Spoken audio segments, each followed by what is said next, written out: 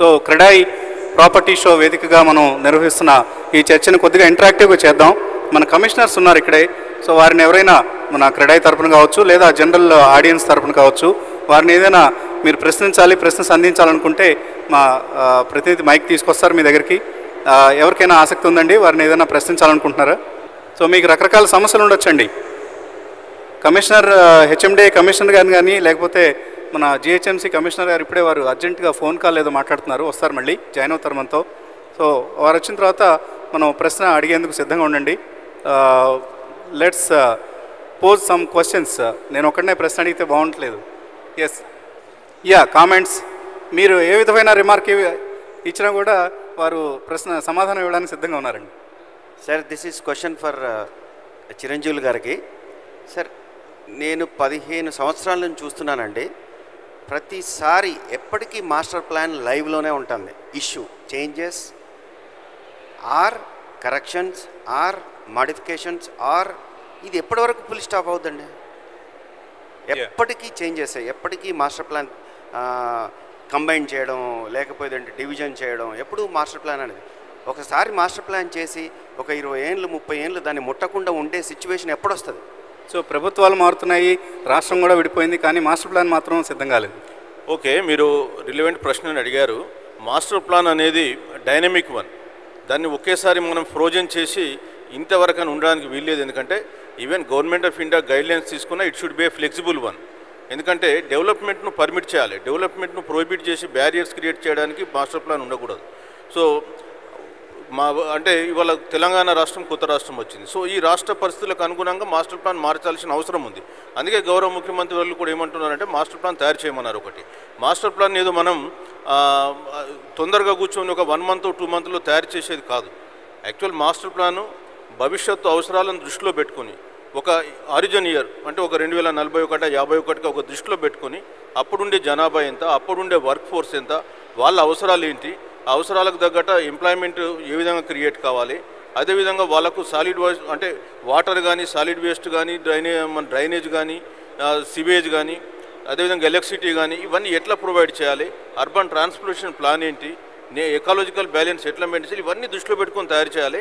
అయితే మీరు అన్నట్టు ఏంటంటే ప్రతిసారి మారుస్తున్నారంటే దాంట్లో ఏంటంటే ఒక కాంప్రిహెన్సివ్గా ఇవాల్వ్ కాలేదు మొన్నటి వరకు ఏం జరిగింది?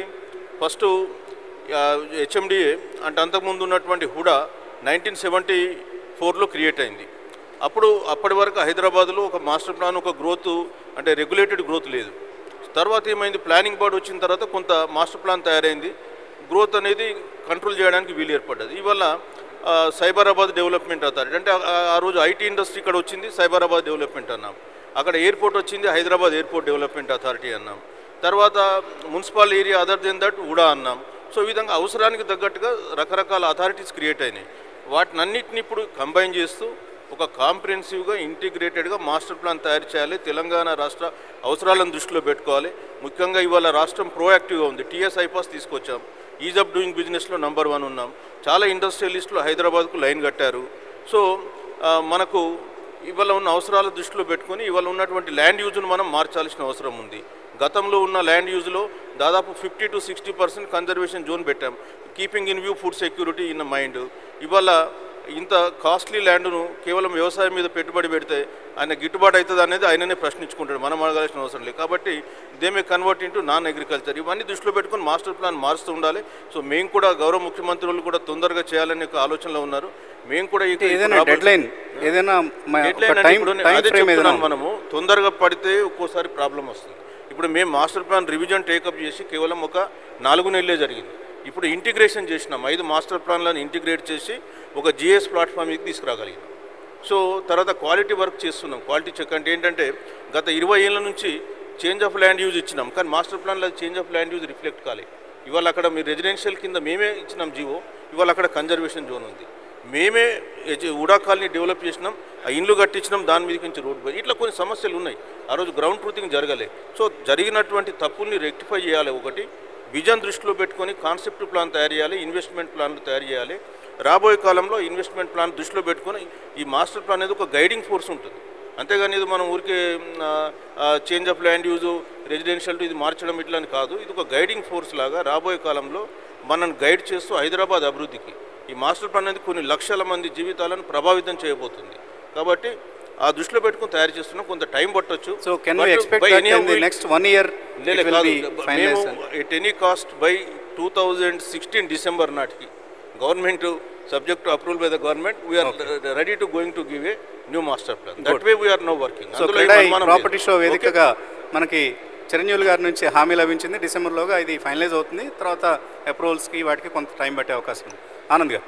సార్ ఇది గోపాల్ సార్ క- గోపాల్ సార్ గారి కంటే క్వశ్చన్ ఇది. సార్ ఇప్పుడు మేము లాస్ట్ సెవెన్ మంత్స్ క్రితం మీరు you given a lot of reforms మేము నలభై అమెండ్మెంట్స్ అడిగితే మీరు ఒక ట్వంటీ వన్ అమెండ్మెంట్స్ ఇచ్చారు sir this amendments was given after lot of debates lot of meetings for eight months chief secretary గారి ఆఫీస్లో సీఎం గారి ఆఫీస్లో మీ ఆఫీస్లో మాత్రం కౌంట్లెస్ సార్లు కూర్చొని డిబేట్ చేసుకొని రిఫార్మ్స్ తీసుకొచ్చారు సార్ లాస్ట్ సెవెన్ మంత్స్లో ఏమైంది సార్? ఇప్పుడు అందరం కలిసి ప్రాజెక్ట్స్ లాంచ్ చేశాం. ఇది small sizes mid sizes big sizes projects. వేరిన ten acres twenty acres fifty acres hundred acres టౌన్షిప్స్లలో కూడా లాంచ్ చేసినాం సార్ ప్రాజెక్ట్స్. ఈ ప్రాజెక్ట్స్ దానికి ఒక లైఫ్ రావడానికి ఇంకో మూడు నాలుగేళ్ళు పడుతుంది సార్. అంటే ఓ- ఇప్పుడు ఓ ప్రాజెక్ట్లో పది టవర్లు ఉన్నాయి అనుకోండి సార్. ఎవ్రీ టూ ఇయర్స్ ఓ మూడు టవర్లు అయిపోతుంది. తర్వాత ఇంకో మూడు టవర్లు అయిపోతుంది. దీనికి కావాల్సింది ఏంటంటే ఈ రిఫార్మ్స్ మీరు అయితే అమెండ్మెంట్స్ ఇచ్చారో కంటిన్యూటీ ఈజ్ రిక్వైర్డ్ సార్ ఇది. సో వేరేస్ మా basically we keep hearing livid murmurs in the various officers saying that ఈ కొత్త ఈ జియోని ఇలా మారుస్తున్నారు? ఆ జియోని ఇంకో కొత్త GO రాగలుస్తున్నది either from the financial point of view or either from the building bylaws point of view at least larger టౌన్షిప్స్లో నుంచి ఓ minimum built up area minimum number of అపార్ట్మెంట్స్కి ఇది అప్లికబుల్ కాదో లేకుంటే ఈ జియోని ఓ యాక్ట్ ప్రకారం తీసుకొచ్చారనుకోండి సార్. సో ఈజీగా చేంజ్ కాకుండా ఉంటుంది. So just want to hear your views on this sir ఈ ఇండస్ట్రీలో there are different interest different stakes and governments interest to be regulator and facilitate both at the same time ఈ last property షోలో ఇలాగే జరిగినప్పుడు దాదాపు one and half to two years ముందు మన తెలంగాణ ముఖ్యమంత్రి గారు ఇక్కడ వచ్చినప్పుడు మీరు అడిగిన uh, కోరికలన్నీ డీటెయిల్డ్గా ఎగ్జామిన్ చేసి ఏవైతే ఫీజిబుల్ ఉన్నాయో ఆ ఫీజిబుల్ రికమెండేషన్స్ అన్నీ ఇంప్లిమెంట్ చేసి ఒకే రోజున మన మినిస్టర్ గారు చెప్పినట్టు జీవోస్ కూడా ఇవ్వడం జరిగింది. ఇప్పుడు ఈ జీవోస్ అన్ని larger interest will have to be taken care on account of this policy one or two individuals may suffer but we don't care individuals may suffer but it should be in the larger interest that is the founding principles of issuing this orders రెండోది ఏంటంటే ఇది కాన్స్టెంట్గా మన అవసరాలకు తగ్గట్టు policy changes ఏ విధంగా చేయాలో చేయొచ్చు కానీ బట్ ఎగ్జెంప్షన్స్ అనేవి ఒకసారి గవర్నమెంట్ ఉద్దేశం ఏంటంటే ముఖ్యమంత్రి గారు చాలాసార్లు చెప్పారు మనం ఒకవైపు లిబరల్గా ఉందాం we'll facilitate ease of doing business we'll facilitate growth of real estate but we'll also be tough when it comes to the question of violation of any particular order not looking at individuals we should be tough కాబట్టి while we're open for changing the policy depending upon the requirements keeping in view the broader objectives of affordable housing ఎందుకంటే మనం ఇప్పుడు మన రాష్ట్రంలో హైదరాబాద్లోనే రెండు లక్షల ఇళ్ళు ఇవ్వాలనే డిమాండ్ ఉంది. ఆ రెండు లక్షల ఇల్లు మనకు స్టేట్ గవర్నమెంట్ కూడా మీ అందరికీ తెలుసు. ఆ సబ్జెక్టు హౌసింగ్ వాళ్ళు చూస్తున్నారు నేను చూస్తున్నాను. State government unlike in any other state మన ముఖ్యమంత్రి గారు two bedroom house in order to protect the dignity of the poor people in all the urban and rural areas all eligible people will be given a two bedroom house అని దానికి unit cost అందరితో consult చేసి fix up చేశారు. So our common goal should be how to use this enabling environment to see that all the 2 lakh households within the next 2 to 3 years get affordable housing within the unit cost approved by the government both in urban areas and also in rural areas దానికి కావాల్సింది how do we bring in technology how do we work together whether there is need for any change of say for instance setbacks for instance only in the context of reaching the overall goal అంతగానో ఒక single individual owner effect అవుతున్నాడు కాబట్టి set back relaxation single individual ఓనర్కి land road widening ఇచ్చారు కాబట్టి set back relaxation ఇవ్వమంటాం. ఎందుకంటే already జియోస్లో మీరు చెప్పేది నాకు ఒక విషయం పూర్తిగా తెలుసు. ఇదివరకు సెట్ బ్యాక్ రిలాక్సేషన్ ఇచ్చేవాళ్ళు. ఇప్పుడు మల్టిపుల్ బెనిఫిట్స్ ఇస్తున్నాము. టీడీఆర్ ఇస్తున్నాము ట్యాక్స్లో పేమెంట్లో అడ్జస్ట్మెంట్ ఇస్తున్నాము plus setback relaxation up to not beyond a particular point we don't negotiable not negotiable limit దాకా సెట్ బ్యాక్ లిమిట్స్ ఇస్తూ టీడీఆర్ ఇస్తూ ట్యాక్స్ కన్సెషన్స్ ఇస్తున్నాం కాబట్టి let us work in an environment where will achieve the ultimate cause of affordable housing and for that purpose whatever relaxations are required government will look at so continuation of reforms ఇది ఆనంద్ గారి ప్రశ్నలో కొద్దిగా అంతరార్థం ఇది కూడా ఉంది. Continuation of reforms కూడా అవసరం అండి. అంటే మనం ప్రాపర్టీ డెవలపర్స్ మాత్రమే కాదు కన్జ్యూమర్స్ని కూడా ఎఫెక్ట్ చేస్తుంది. Unless we continue these reforms ఇంతకుముందు మనం అన్లిమిటెడ్ ఎఫ్ఎస్ఐ ఇచ్చేసాం. సో దానివల్ల చాలా గ్రోత్ వచ్చింది రియల్ ఎస్టేట్ సెక్టర్లో సో మేబీ దాన్ని భవిష్యత్తులో కూడా కొనసాగించాల్సిన అవసరం ఉంది ఎనీమోర్ జనార్దన్ రెడ్డి గారు కూడా జాయిన్ అయ్యారు మనతో so Sir, one question, sir. Yeah I'm staying in Dilshuk Nagar. My question to GHMC Commissioner. Uh, so regularly we, I mean, జనరల్గా రోడ్స్ కొంచెం కొంచెం ముందుకు రండి మీరు జనరల్గా రోడ్స్ వేస్తారు ఐ మీన్ కామన్ జనరల్గా బస్ రూట్స్లో కానీ నార్మల్ రూట్స్లో కానీ రోడ్స్ వేస్తారు. After completion of the roads after a month or two months somebody come to BSNL or Idea Reliance somebody people come and they digging on the roads they put there whatever the material. After that nobody can not come and they will not fulfil the previous whatever the roads correct whether GHMC వాళ్ళు notice వాళ్ళకి ఇస్తారా? అసలుకి ఇవ్వరా? ఇస్తే వాళ్ళు ఎందుకు roads వాళ్ళు ఎందుకు వేయరు? Because we are the taxpayers మన బేస్ చేసుకుని రోడ్స్ అన్ని వేస్తున్నారు. వాళ్ళు అక్కడ అల్టిమేట్గా కస్టమర్కే బెనిఫిట్ చేస్తున్నారు వాళ్ళు.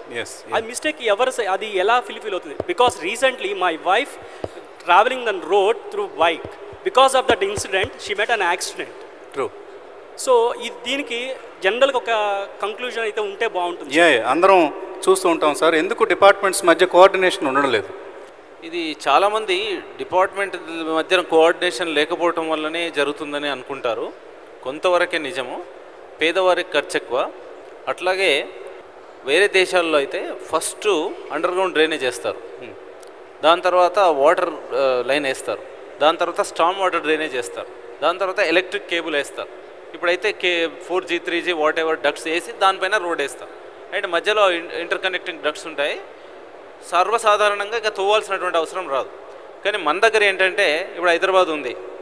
హైటెక్ సిటీ తర్వాత ఇంకొంచెం దూరం పోయిన తర్వాత ఫస్ట్ ఒక యాభై ఇల్లు వంద ఇల్లు రెండు వందల ఇల్లు కట్టుకుంటారు. ఎట్లో ఒకలాగా ఇల్లు కట్టుకున్నాం కదా పోవటం ముఖ్యం. బండ్ల బాట ఉంది దానికి ఒక రోడ్ వేయండి అంటారు ఫస్ట్. ఫస్ట్ రోడ్ వేసేసుకుంటారు. వాళ్ళు సొంతంగా కానీ లేకపోతే మున్సిపాలిటీ నుంచి కానీ కొన్ని గ్రామ పంచాయతీలుగా ఉన్నాయి రోడ్ వేసుకుంటారు. కొన్ని రోజులు అయిన తర్వాత they will apply for water అప్పుడు మళ్ళీ రోడ్డు తవ్వి వాటర్ వేస్తారు. అండ్ ఇంకొన్ని రోజులు అయిన తర్వాత ఇంకొన్ని రోజులు అయిన తర్వాత అండర్ గ్రౌండ్ డ్రైనేజ్ శాంక్షన్ అవుతుంది. మళ్ళీ అండర్ గ్రౌండ్ డ్రైనేజ్ కోసం ఒకసారి. దాని తర్వాత ఎలక్ట్రిసిటీ డిపార్ట్మెంట్ వాళ్ళు అన్నీ ఓవర్ హెడ్ ఉన్నాయి. కొంత ఫేజ్ వైజ్గానైనా డక్ట్ వేద్దామనే ఉద్దేశంతో వాళ్ళు వేస్తారు. దాని తర్వాత ఇప్పుడు త్రీ జీ ఫోర్ జీ ఇలాంటివన్నీ వచ్చాయి టీవీ కేబుల్స్ వచ్చాయి. వీళ్ళందరికీ కూడా ఏంటంటే ముందు ఇవన్నీ చేసి తర్వాత రోడ్ వేస్తే ఫ్రీక్వెంట్గా తోవాల్సినటువంటి అవసరం ఉండదు. ఒక పని ఇవన్నీ చేసి రోడ్ వేస్తే ఐదు స్టెప్ల తర్వాత రోడ్ వేయాలి. మనం ఫస్ట్ రివర్స్కి వస్తున్నాం. రోడ్డు ఫస్ట్ వేస్తున్నాం. మళ్ళీ వాటర్ అయినప్పుడు ఒకసారి తవ్వడం అండర్ గ్రౌండ్ అయినప్పుడు ఒకసారి తవ్వడం స్టామ్ వాటర్కి ఒకసారి తవ్వడం ఇది మనం పేదరికం వల్ల కొంత అనుకోవచ్చు. అండ్ ప్లానింగ్ అని అనుకుంటాం కానీ రిసోర్సెస్ ఉంటే ఎవరైనా అలాగే చేస్తారు. అది బేసిక్ రీజన్ అది. ఇప్పుడు నైన్ థౌజండ్ కిలోమీటర్స్లో మనకు కేవలం fifteen hundred fifty six kilometres మాత్రమే స్టామ్ వాటర్ డ్రైన్ ఉంది. ఏదో ఒక రోజు storm water drain nine thousand kilometres చేసుకోవాలి. అండ్ ఓన్లీ కోర్ సిటీలో మాత్రం సిక్స్ థౌజండ్ కిలోమీటర్స్ లోపలనే under ground drainage pipeline ఉంది. మిగతా ఇప్పుడు సరౌండింగ్ మున్సిపాలిటీ ఏరియాలో అండర్ గ్రౌండింగ్ లేదు. అట్లాగే రెండు వేల కిలోమీటర్లకు మించి ఎలక్ట్రిక్ కేబుల్ నెట్వర్క్ గ్రౌండ్ గ్రౌండ్లో లేదు. ఓవర్ గ్రౌండ్ ఉంది. అండ్ ఇప్పుడు cable network three G four G networks ఎప్పటికప్పుడు వస్తున్నాయి. ఈ ఈ డెవలప్మెంట్స్ వల్ల కొంత అండ్ ముందు చేయాల్సింది వెనక వెనక చేయాల్సింది ముందు చేయటం మూలన తోటం కంపల్సరీ అవుతుంది. తొవ్వినప్పుడు తీసుకోవాల్సినటువంటి జాగ్రత్తలు ఏంటంటే తప్పనిసరిగా అక్కడ రెడ్ కోన్స్ పెట్టాలి డేంజర్ అపాయం గుర్తులు పెట్టాలి సైన్ సైనేజెస్ పెట్టాలి. దాని తర్వాత ఎప్పుడు ఎవరు మొదలు పెట్టారు ఎప్పుడు ఎండ్ అవుతుంది ప్రాసెస్ ఏంటి అనేది పెట్టాలి. ఆల్టర్నేటివ్ రోడ్స్ కూడా కొంత ఇవ్వాల్సినటువంటి అవసరం ఉంది. కానీ మనకు చాలా ప్లేస్లలో మెయిన్ రోడ్ ఒకటే ఉండటం. ఉదాహరణకు ఆర్టీసీ క్రాస్ రోడ్ నుంచి ముషీరాబాద్ వెళ్తున్నప్పుడు దానికి పెద్ద ప్రత్యామ్నాయాలు లేవు. దాదాపు ఒక సంవత్సరం నుంచి ఎలాంటి వాళ్ళు రోడ్ వేస్తున్నారు. అండ్ ఎలాంటి వాళ్ళు వారు వర్క్ చేస్తున్నారు.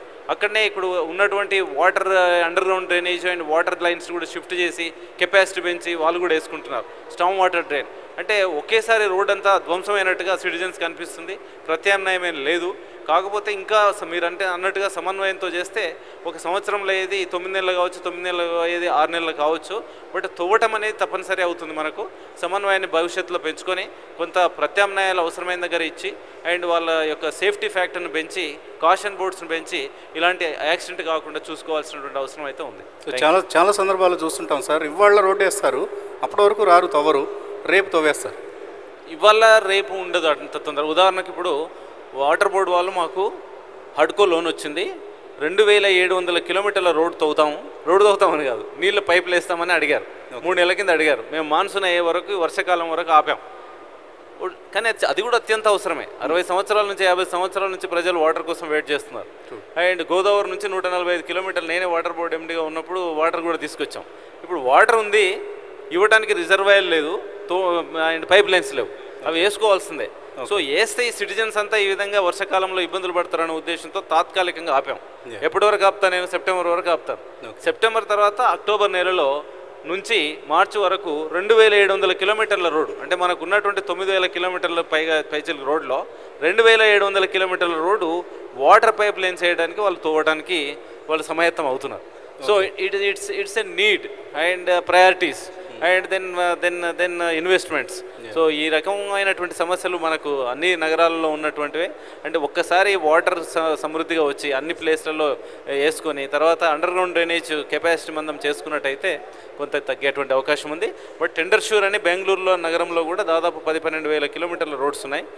ఒక్క ఇరవై కిలోమీటర్ల దూరంలోనే టెండర్ షూర్ అని మీరు చెప్పినట్టు నేను ఇందాక చెప్పినట్టు వేస్తే ఒక కిలోమీటర్కు పది పది కోట్ల రూపాయలు అయింది ఇరవై కిలోమీటర్ల రోడ్ వేస్తే రెండు వందల కిలోమీటర్ రెండు వందల కోట్ల రూపాయలు. అంటే ఇది హ్యూజ్ ఇన్వెస్ట్మెంట్ అనమాట ఒకవేళ నువ్వు ఆ- విధంగా మనం లెక్కేస్తే ఐదారు వేల కిలోమీటర్లకి ఇంటూ టెన్ థౌసండ్ వేసుకున్నట్టయితే టెన్ రూపీ టెన్ క్రోర్స్ వేస్తుంటే యాభై అరవై వేల కోట్ల రూపాయలు అయితే మీరు. చెప్పినటువంటి model so it will not be dug again.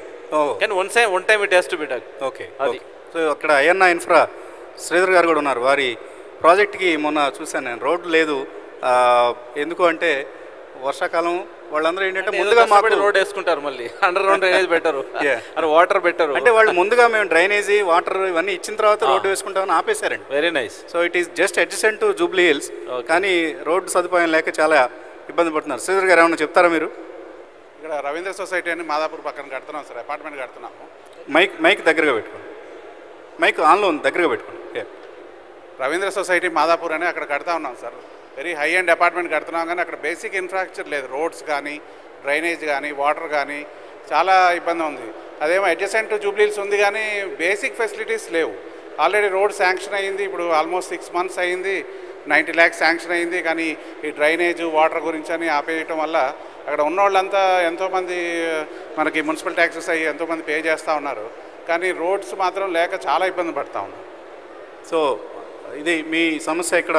చాలామంది కామన్ ప్రాబ్లం ఉండేది అట్లీస్ట్ మీకు రోడ్డు తవ్వే అవకాశం లేదు ఇప్పుడు. వేసిన రోడ్డును తవ్వే అవకాశం లేదు. యా రామరెడ్డి గారు. సార్ uh, నా ఈ రెండు క్వశ్చన్స్ ఫస్ట్ మన కమిషనర్ గారికి జనార్దన్ గారికి.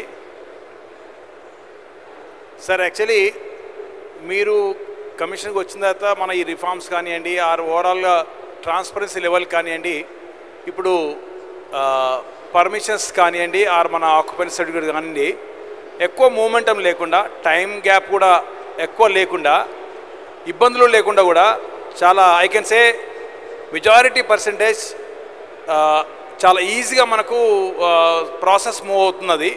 We are very happy and thankful to you but sir కొన్ని స్మాల్ స్మాల్ ఇష్యూస్ ఇంకా అట్లే పెండింగ్ ఉంటున్నాయి. బికాస్ ప్రొఫెషనల్ ఆల్ ఆక్యుపెంట్స్ ఎవరైతే మన బిల్డింగ్స్ కట్టారో వారు ఆక్యుపెన్సీ సర్టిఫికేట్ తీసుకున్న తర్వాత కూడా స్మాల్ డీవియేషన్స్ ఏవైతే ఉంటాయో అవి ఏవైతే రెగ్యులర్స్ అయిపోతాయో దాని పెనాల్టీ పే చేస్తారో వారికి ప్రాపర్ ట్యాక్స్ ఆ twenty five percent extra even after occupancy కూడా ఛార్జ్ చేస్తున్నారు. దీన్ని మీ దృష్టికి ఆల్రెడీ తీసుకొచ్చాము. బట్ నేను మళ్ళీ అగైన్ ఎందుకు చెప్తున్నానంటే మేబీ ఇట్స్ మనము ఎవరైతే లా అబైడింగ్ ఉంటారో వారికి మనము ఈ రెస్పాన్స్ చేసేస్తే ఫ్యూచర్లో ఇంకా మనకు బాగుంటుందనేది అనేది నా ఒక అభిప్రాయం అది. దీని మీద కొంచెం మీరు మీ అభిప్రాయం చెప్పాలి. Sir one more question sir this is for మన Chiranjeevi garu HMD commissioner sir మనం మన విత్ ఇన్ ఓఆర్ఆర్లో ఏవైతే అర్బన్ గ్రామ పంచాయతీస్ ఉన్నాయో దాంట్లోంచి కొన్ని మాస్ ప్లాన్ రోడ్స్ వెళ్తున్నాయి. ఆ మాస్ ప్లాన్ రోడ్స్ ఏవైతే వెళ్తున్నాయో with in the mass plan రోడ్స్లో కూడా ఈ గ్రామ పంచాయతీలో వాళ్ళు పర్మిషన్ ఇస్తున్నారు. ఈ- ఏది ఇండిపెండెంట్ హౌస్కి పర్మిషన్ ఇస్తున్నారు. రేపు మనం ఆ మాస్ ప్లాన్ రోడ్స్ని ఇంప్లిమెంట్ చేయాలంటే మళ్ళీ మనం ఆ ఇల్లు కొలగొట్టాలి. ఆ ఇల్లు కొలగొట్టాలంటే మళ్ళీ మనకు లీగల్ కోర్ట్ కేసెస్ ఇవన్నీ lot of things are coming in the picture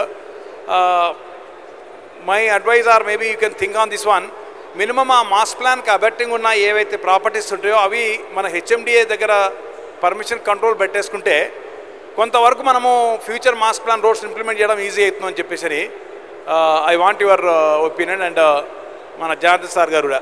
so ముందు ముందుగా జనా జనార్దన్ రెడ్డి గారు ముందుగా మీరు సమాధానం ఇచ్చిన తర్వాత చిరంజీవి గారు మాట్లాడతారు. ఈ డిస్క్రిపెన్సీ నోట్ చేసాం రామరెడ్డి గారు. Will come back will will address this issue shortly right thank you Chiranjeevi మీరు అంటే మీ కొంత రీసౌండ్ వచ్చి మీరు చెప్పిన దాంట్లో కొంత క్లారిటీ రాలే. నాకు అంటే క్లారిటీగా నేను అర్థం చేసుకోలేకపోయినా. బట్ థింగ్ ఏంటంటే ఓఆర్ఆర్లో మాస్టర్ ప్లాన్ రోడ్స్ వెళ్తున్నాయి. అదేవిధంగా పంచాయతీ రోడ్స్ కూడా వెళ్తున్నాయి. వాటిని ఎట్లా రియలైన్ చేస్తారని అడిగారు అంతేనా? అలిగి క్లారిటీ సార్ మన certain mass plan roads mic మీరు మైక్ కొంత దగ్గర పెట్టుకో. Certain mass plan roads passing through the urban villages yes ఆ మాస్ ప్లాన్ రోడ్స్ అయితే మనకి వెళ్తున్నాయో ఆ రోడ్లలో కూడా ఈ గ్రామ పంచాయత్ సర్పంచెస్ వాళ్ళు పర్మిషన్ ఇస్తున్నారు.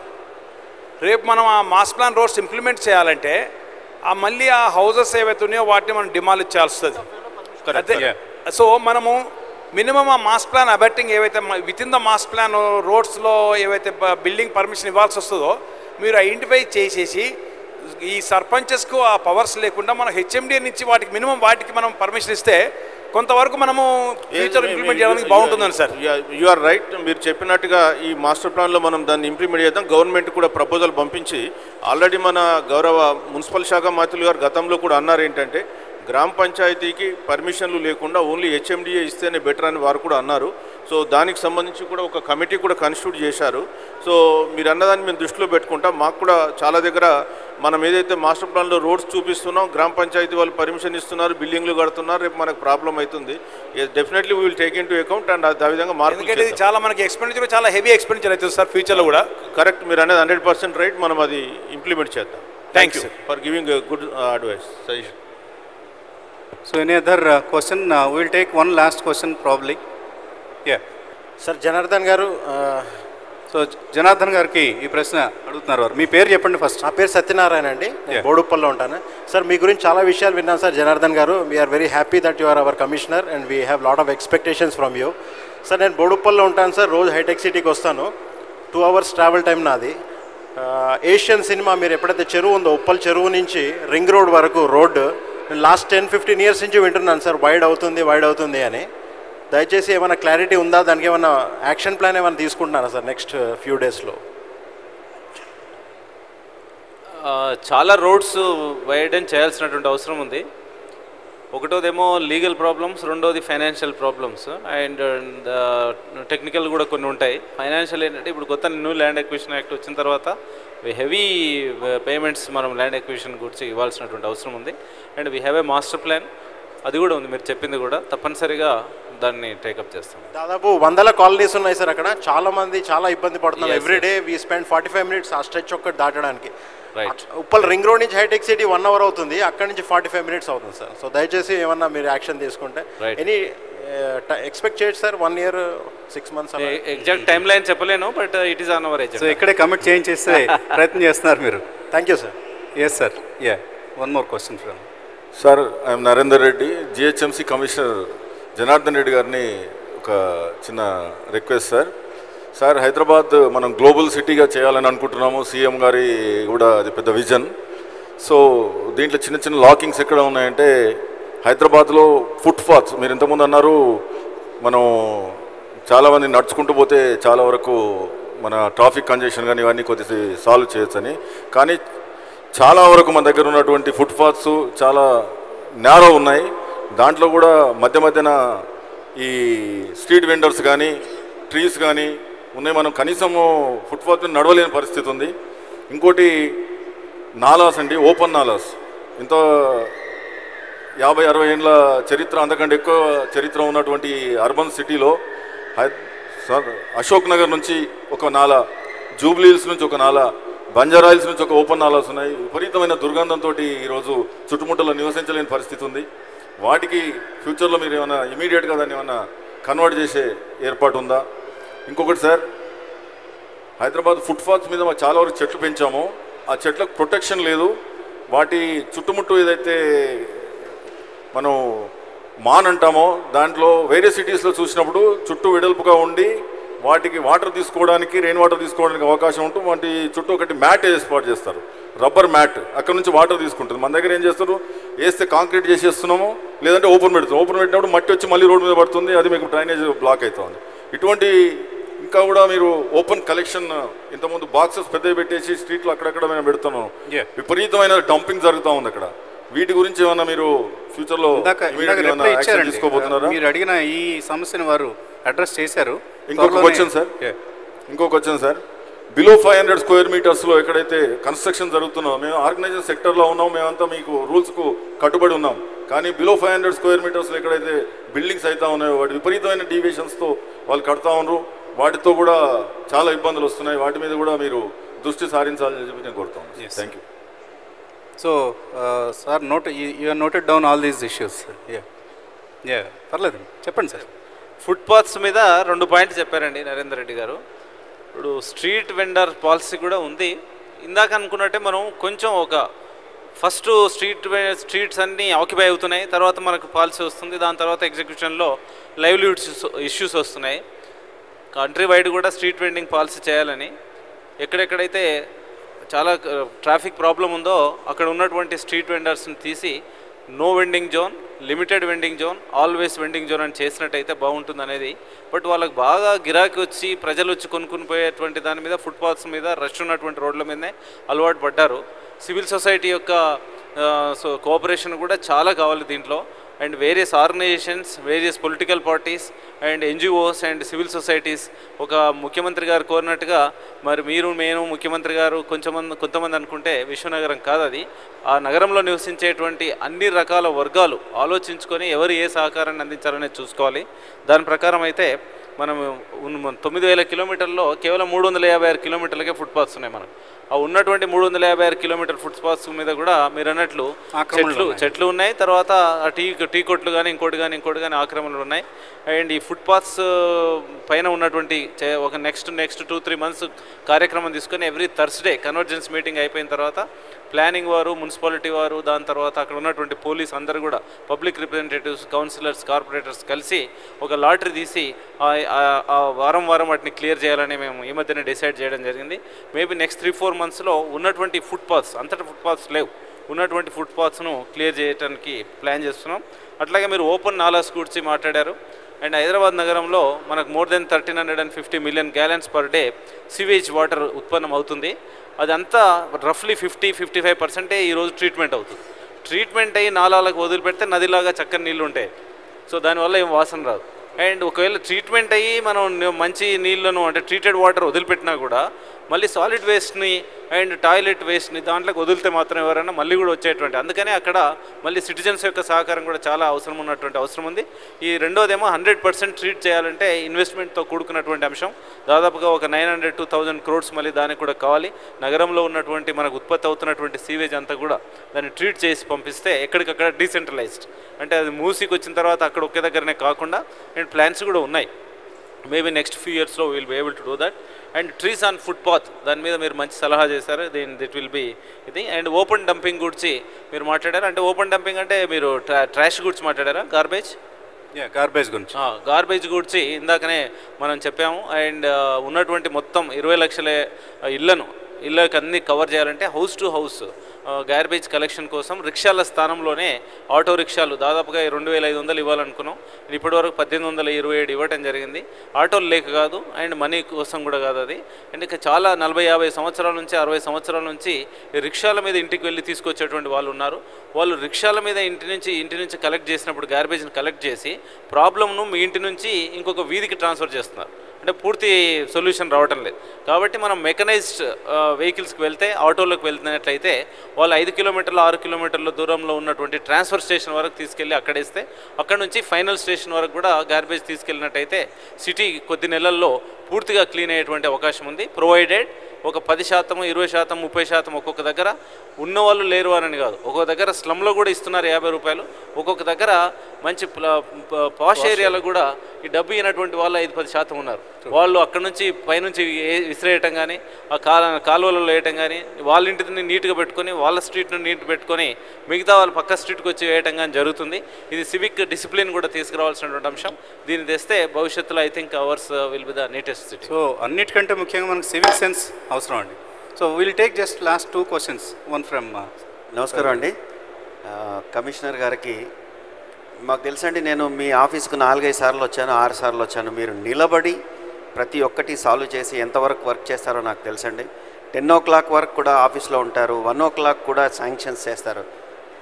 కానీ సార్ మీరు మెయిన్ రోడ్స్ మీద కాన్సన్ట్రేట్ చేసినంతక క్లీనింగ్లో మన హైదరాబాద్ రియల్లీ క్లీనింగ్లో చాలా బెస్ట్. బట్ ఈ మధ్యన internal roads even Jubilee Hills internal roads కూడా కాన్సన్ట్రేట్ చేయట్లేదు సార్. కొంచెం అది మట్టుకు టేక్ కేర్ సార్. తర్వాత సార్ మాస్టర్ ప్లాన్ ఇప్పుడు మనం ఎస్ట్వైల్ ఎంసీహెచ్ ఏరియాలో మనకు స్ట్రాంగ్ వాటర్ ఉంది డ్రైన్ వాటర్ ఉంది అన్నీ ఉన్నాయి సార్. ఎస్ట్వైల్ హుడా ఏరియాలో నిజంగా స్ట్రాంగ్ వాటర్ కానీ డ్రైన్స్ కానీ లేవు. ఇప్పుడు సిటీ బాగా డెవలప్ అయిపోతుంది ఆ ఏరియాలో. Social STPs social STPs plan చేస్తే ఏమవుతుందంటే కాలనీస్ డెవలప్ చేస్తుంటే మా బిల్డర్ మిత్రులందరూ పక్క విలేజ్లో ఉన్న స్ట్రాంగ్ వాటర్ మనం మన వెంచర్లో గుండా పోతుంది. మనం ఆపలేకపోతున్నాం దానిలో మాలో నుంచి తీసుకురాలేకపోతున్నాం దాన్ని ట్రీట్ చేయలేకపోతున్నాం అదొక పెద్ద మెస్ అయిపోతుంది సార్. కొంచెం ఆ విలేజెస్లో సోషల్ ఎస్టీపీస్ ఏమైనా ప్లాన్ చేసి పంపిస్తే బాగుంటుంది సార్ అది. అంటే దీనికి ఇన్వెస్ట్మెంట్స్ ఎవరు? Sir we have paid in కాబట్టి. Impact fee. అంటే లోకల్ ఏరియా డెవలప్మెంట్ కోసం ఇంపాక్ట్ ఫీ. పే చేసాం సార్. ఓకే అండి. యా.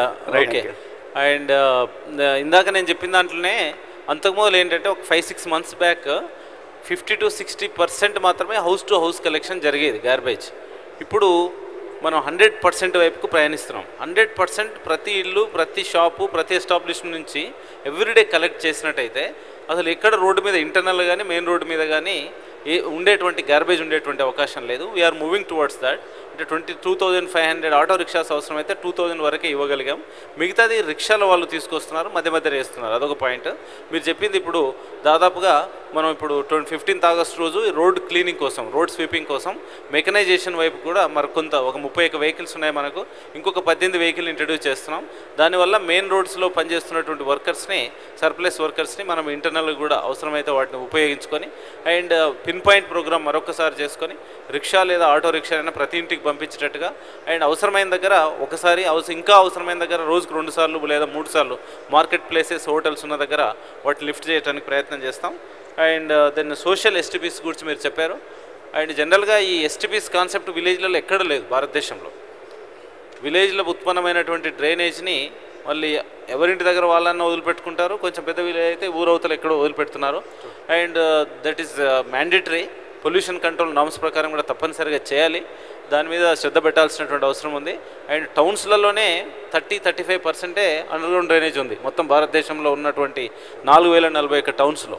సో విలేజ్లలో ఆల్మోస్ట్ ఫైవ్ పర్సెంట్ కంటే ఫైవ్ పర్సెంట్ కూడా లేదు. అంటే ఎవరైనా కొంతమంది టాయిలెట్స్ ఉన్నటువంటి వాళ్ళు and septic toilets septic tank కట్టుకుంటున్నారు. మిగతా వాళ్ళ దానికి అది కూడా లేదు కాబట్టి ఆ సమస్య ఉంది.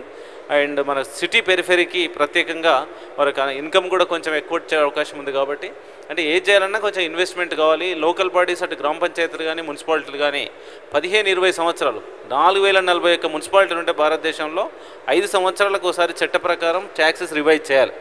ఐదు పది తప్ప ఈ నాలుగు వేల నలభై ఒకటిలో మిగతా మున్సిపాలిటీలు ఏవి కూడా ఈ ఈ నిబంధన ప్రకారం ఐదేళ్ళకు ఒకసారి రివైజ్ చేయడం లేదు. Because it's a political decision whatever the political decision కావచ్చు. సివిల్ సొసైటీ నుంచి కూడా మీరు ఇరవై సంవత్సరాలు అయిందండి ప్రాపర్టీ ట్యాక్స్ రివిజన్ చేసి కరెక్ట్ చేసుకోండి కొంచెం ఇన్కమ్ ఎక్కువ చేసుకోండి మాకు సదుపాయాలు ఇవ్వండి అనేటువంటి యాక్టివ్ గ్రూప్స్ రావాలి.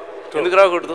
అలాంటివి కూడా రావాలి. So these are all interlinked problem I think it is noted yeah sir will will give the mike to him first ఆయనకి ఇవ్వండి తర్వాత మీకు ఇస్తాను. హలో అండి. నా పేరు ప్రసాద్. ఇది నా క్వశ్చన్ హెచ్ఎండిఏ కమిషనర్ గారికి. హెచ్ఎండిఏ HMDA కమిషనర్ కమిషనర్ గారికి. సార్ నాకు ఒక ప్లాట్ టూ థౌజండ్ టూలో కొన్నాను ఒక చోట. అది గ్రామ పంచాయతీ. ఇప్పుడు అది హెచ్ఎండిఏ మాస్టర్ ప్లాన్లో అక్కడ రోడ్స్ కింద చూపిస్తోంది. సో అట్లాంటి వాటికి ఎట్లా కరెక్షన్ కానీ లేకపోతే ప్రొసీజర్ ఏంటి? ఇప్పుడు లేఅవుట్ రెగ్యులరైజేషన్ స్కీమ్లో మాస్టర్ ప్లాన్ రోడ్స్ ఏదైతే ప్లాట్స్ గుండా పోతుందో ఆ. ప్లాట్స్ను రెగ్యులరైజ్ చేయలేదు. ఓకే. సో అది ఖచ్చితంగా ఆ రోడ్కు అది వదిలేయాల్సి ఉంటుంది. ఆ మిగతా భాగం ఏదన్నా ఉంటే దానికి తర్వాత కాలంలో చేస్తారు కానీ ఇప్పుడు ఎల్ఆర్ఎస్ మాత్రం ఇప్పుడు జరగదు. ఓకే. సో మిగతాది ఏంటి? అది కంపెన్సేషన్ కింద పోతుందా? లేకపోతే ఎట్లా అవుతుంది అది? మీరు ఎవరి నుంచి అయితే కొన్నారో వాళ్ళని అడగాల్సింది. ఎందుకంటే మాస్టర్ ప్లాన్ రోడ్ పోతూ ఆయన ఏ విధంగా మీకు అమ్మిండని ఒకటి. అందుకనే మేము టూ చెప్పేది థౌజండ్ టూలో నుండి 2000 బిఫోర్ చాలా ముందు. టూ థౌజండ్ టూలో మీరు కొన్నారు. హెచ్ఎండిఏ మాస్టర్ ప్లాన్ ఎప్పుడు వచ్చింది అది ఎయిట్లో అనుకుంటా కదా. టూ థౌజండ్ ఎయిట్లో వచ్చిందా. సో ఓకే ఇప్పటికైనా టూ థౌజండ్ ఎయిట్లో వస్తుంది కాబట్టి మాస్టర్ ప్లాన్ ఖచ్చితంగా మీకు ఒకవేళ మాస్టర్ ప్లాన్ రోడ్లో పోతే ఇంతకుముందే మేము ఇక్కడ డిస్కషన్లో మా స్పెషల్ సిఎస్ గారు కూడా చెప్పారు ఏంటంటే దానికి మీకు టీడీఆర్ అంటే ట్రాన్స్ఫరబుల్ డెవలప్మెంట్ రైట్స్ అన్న ఇస్తారు. కొంత ప్లాట్ మిగిలి ఉంటే సెట్ బ్యాక్ అని ఇస్తారు. రెండోది. మూడోది ఏమిటంటే మీకు కొంత కంపెన్సేషన్ కూడా దాంట్లో ప్రొవిజన్లో ఉంది. అంటే బేసిక్ వాల్యూ ప్రకారం. సో దాని ప్రకారం ఇస్తారు.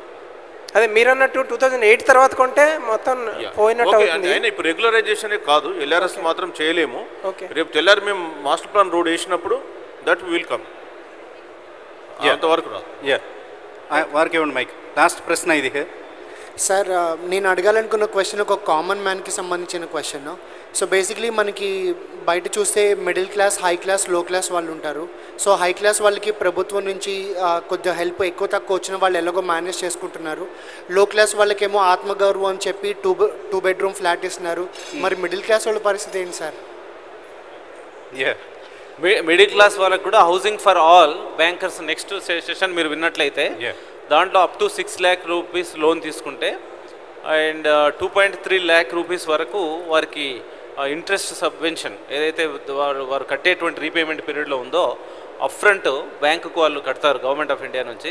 So that annual income six lakh annual income ఉన్నటువంటి వాళ్ళకి వాళ్ళు తీసుకున్నటువంటి హౌసింగ్ లోన్లో two point three lakh rupees వరకు ఇంట్రెస్ట్ సబ్ సబ్వెన్షన్ అప్ఫ్రంట్గానే వారి మీద బర్డన్ పడకుండా భారత ప్రభుత్వం కట్టేటువంటి స్కీమ్ ఉంది. అది హౌసింగ్ ఫర్ ఆల్ అని మీరు వెబ్సైట్లోకి వెళ్తే దాంట్లో దొరుకుతుంది. చాలా సంతోషం సార్. కాకపోతే ఇక్కడ ఇప్పుడు ఇదివరకు ప్రభుత్వం తరపున హెచ్ఎండి వాళ్ళు రాజీవ్ స్వగృహ ఇలా ఎలా అయితే స్టార్ట్ చేశారో అలాంటివి మళ్ళీ ఏమన్నా స్టార్ట్ చేస్తే మిడిల్ క్లాస్ వాళ్ళకి ఏమన్నా ఉపయోగపడుతుందా? రెండోది ఇప్పుడు మనం మలేషియన్ టౌన్షిప్ చూస్తే కనుక ఒక పక్కన పెద్ద పెద్ద టవర్స్ కట్టారు. దాంట్లోనే బ్యాక్ సైడ్ మిడిల్ క్లాస్లో క్లాస్ వాళ్ళకి చిన్న చిన్న సైజెస్ కట్టారు. అవును. సో అలాంటివి మళ్ళీ ఏమన్నా స్టార్ట్ చేస్తే మేబీ అందరూ యూటిలైజ్ చేసుకునే అంటే ముందు గేట్ నుంచి వెళ్తామా వెనక గేట్ నుంచి వెళ్తామా అన్నది పక్కన పెడితే. అక్కడ ఉండడం ముఖ్యం. అక్కడ ఉండడం ముఖ్యం. ఓకే. అండ్ సో అలాంటిది ఏమైనా అవకాశం ఉందా? లేదా ప్రైవేట్ కంపెనీస్ అయినా సరే సో కార్పొరేట్ సోషల్ రెస్పాన్సిబిలిటీ కింద కొన్ని వాళ్ళైనా గవర్నమెంట్ వాళ్ళు ఒకవేళ మీరు ఇలాంటి రూట్లో కనుక మీరు ఆలోచిస్తే మేబీ మీరు కట్టే అమౌంట్లో ఏదైనా రిబేట్ ఇస్తామన్నో. ఇలా ఏదన్నా కొంచెం. ఒకసారి మిడిల్ క్లాస్ వాళ్ళ గురించి కూడా పట్టించుకోండి అని రిక్వెస్ట్ చేస్తాను.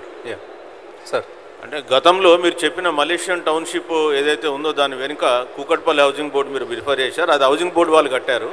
సో హౌసింగ్ బోర్డు వాళ్ళు భవిష్యత్తులో కూడా వాళ్ళకు ఉండేటువంటి ఫైనాన్షియల్ పొజిషన్ బట్టి వాళ్ళు చేయగలరు. బట్ హెచ్ఎండిఏ తరఫున మేము ప్లాట్స్ లేఅవుట్ చేసి అమ్ముతూ ఉంటాము పేదవాళ్ళ కొరకు అయితే మిడిల్ క్లాస్ వాళ్ళ కొరకు.